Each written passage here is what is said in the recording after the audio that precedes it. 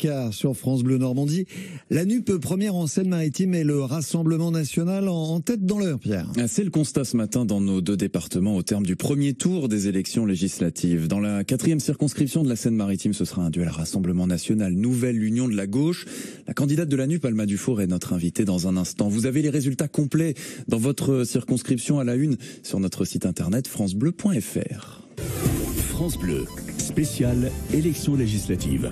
C'est l'un des enseignements de ce premier tour des élections législatives, la percée de la NUP, l'union de la gauche et notamment en Seine-Maritime.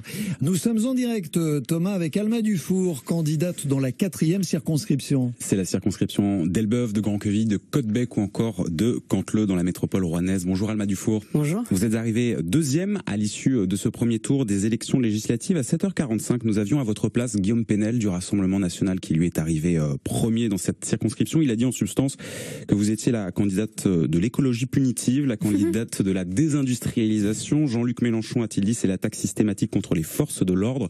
Ça commence fort quand même cet entre-deux tours euh, des élections législatives. Je pense que Monsieur Penel a très peur. Il a très peur parce que si on accumule les scores que nous avons faits et ceux de Monsieur Mérabé, on est largement devant lui.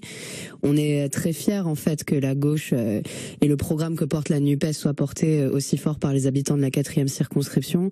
On n'est absolument pas pour la désindustrialisation. D'ailleurs, mon suppléant est lui-même syndicaliste chez Borealis, la plus grosse usine de fabrication et de stockage d'engrais d'Europe. Donc si on avait envie de faire fermer les usines, on serait pas venu ici. Guillaume Penel, à propos de la désindustrialisation, mm. faisait référence à votre combat contre l'implantation d'Amazon, mm-hmm. euh, la plateforme qui devait venir dans l'agglomération rouennaise, qui finalement ne vient pas.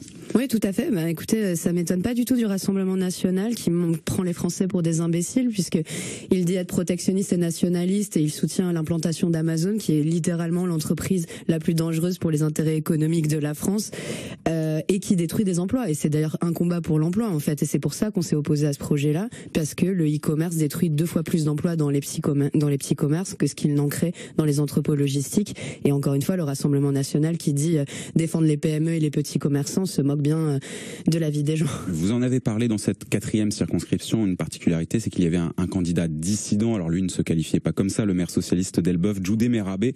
Merabé, aujourd'hui, c'est plus de plus de 9000 voix. Si on additionne mhm. effectivement euh, vos deux scores, c'est quasi 50% des voix dans cette circonscription. Mais est-ce que les électeurs qui ont voté pour Djoudé Merabé vont voter pour vous?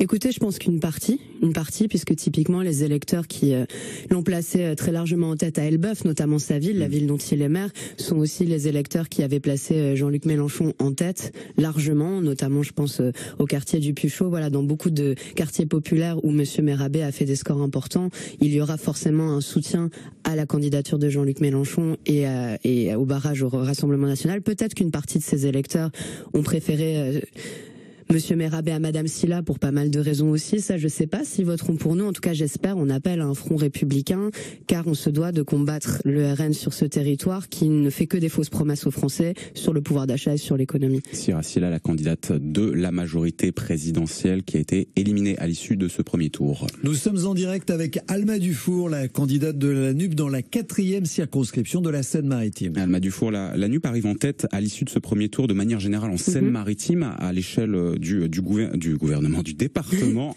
dans l'heure, en revanche, vous arrivez derrière le Rassemblement national, derrière euh, la majorité ensemble. Il y a Philippe Brun qui est qualifié dans la circonscription de, de Louviers-Val de Reuil, mais c'est à peu près tout. Euh, comment vous expliquez cette différence entre la Seine-Maritime et l'heure? À mon avis, je pense que c'est hum, justement le fait que la Seine-Maritime soit un, territoire euh, très très très très industriel et que les usines ferment depuis 40 ans. Et moi, je suis venue pour ça. En fait, je suis une experte de la relocalisation industrielle, contrairement à ce que dit Monsieur Penel. Et donc, du coup, euh, je pense qu'effectivement, il y a encore des une fibre de gauche, une fibre ouvrière en fait qui s'est mobilisée. Il y a beaucoup de quartiers populaires et cette synthèse des deux fait qu'en fait la Nupes arrive en tête en Seine-Maritime plus que dans l'heure, je pense. Euh, en cas de duel entre le Rassemblement national et la Nupes, je vais dire comme vous parce que jusqu'à présent je disais Nup, la première ministre Elisabeth Borne a donné sa consigne aucune voix ne doit aller au Rassemblement mhm. national. Aucune voix pour le RN, ça ne veut pas dire voter la NUPES. Est-ce que c'est une position qui vous convient? Bah, Ça me fait beaucoup rire parce que quand nous, on a donné cette consigne-là au premier tour, au deuxième tour de la présidentielle, on nous a traité absolument de tous les noms, de rouge-brun, euh, de gens qui faisaient le jeu du Rassemblement national. On voit en fait que quand c'est au tour du gouvernement d'Emmanuel Macron, ils sont beaucoup moins clairs. Moi, j'attends des consignes de vote. On attend des consignes de vote de Monsieur le Président lui-même. On voit que dans la circonscription de Marine Le Pen, pour l'instant, la candidate LREM appelle à voter Donc en fait, le barrage républicain, ce n'est que dans un sens, quand ça arrange la majorité et la droite. Donc à un moment donné, il est temps de clarifier ces lignes. Mais il pourrait vous répondre en même temps, Jean-Luc Mélenchon l'a pas fait pour la présidentielle, pourquoi nous on le ferait? Oui, bien sûr, bien sûr, mais c'est intéressant parce que voilà, vous vous rendez compte de la distorsion du traitement. Nous, on était vraiment limite responsable si le RN passait euh, le deuxième tour, et là maintenant, c'est tout à fait normal en fait qu'il ne donne pas de consigne claire. Là, il s'est même pas prononcé, il a pas dit pas une voix pour le RN, il a dit on ne donnera pas de consigne. Madame Borne, euh, voilà. Mais nous, on attend une parole présidentielle. C'est également le cas d'Olivia Grégoire, qui est porte-parole du gouvernement, qui appelle également ce matin aucune voix bah. pour le Rassemblement national. En tout cas, un duel RN-NUPES, c'est le cas dans cette quatrième circonscription de la Seine-Maritime où vous êtes candidate. Merci beaucoup, Merci beaucoup. Alma Dufour, d'être venue sur France Bleu Normandie ce matin en direct.